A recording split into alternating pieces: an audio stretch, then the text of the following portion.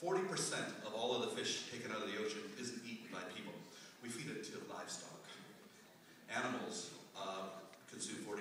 A lot of that goes to fish. The raising of salmon on salmon farms requires an average of 70 fish caught from the ocean to raise one fish on a farm. And then we have the addition of growth hormones and antibiotics and other things and produce this horrific thing called farm-raised salmon, which, by the way, farm-raised salmon has a dirty